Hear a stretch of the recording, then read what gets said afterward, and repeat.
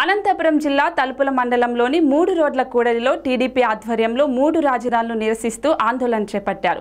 ఈ కార్యక్రమంలో టీడీపీ నాయకులు ఎద్దుల రాముడు రాజారెడ్డి తదితరులు పాల్గొన్నారు.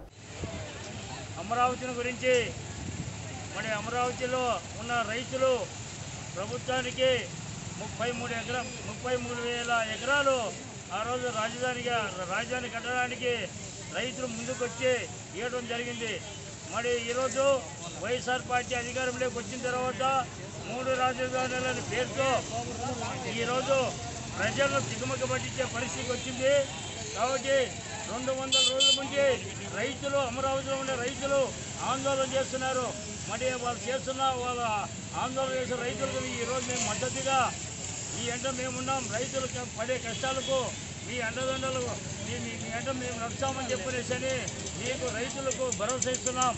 రైతుల సమస్యపై ఎన్ని రోజులన్నా కానీ పోరాటం చేసేకి సిద్ధంగా ఉన్నామని చెప్పేసి అని అందరూ మనం చేస్తున్నాం.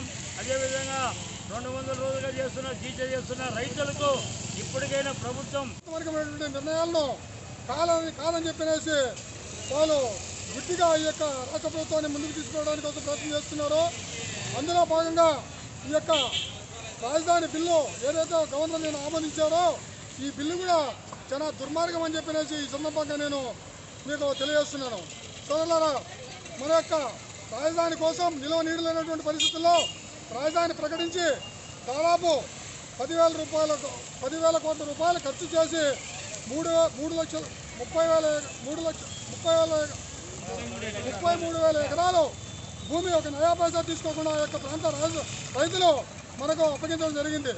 దాన్ని కొనసాగిస్తే భావి తరాల్లో చంద్రబాబు నాయుడు యొక్క పేరు చిరస్థాయిగా నిలిచిపోతుందని చెప్పేసి ఒక దురుద్దేశంతో మన ముఖ్యమంత్రి గారు దానిని మార్చేసి మూడు రాజధానులుగా అని చెప్పినేసి ఈ యొక్క రాష్ట్రాన్ని లేనిపోని సమస్యల్లోకి తీసుకోవడానికి ప్రయత్నం చేస్తున్నారు. చాలా దుర్మార్గమైనటువంటి చర్య సోదరులారు ఇది.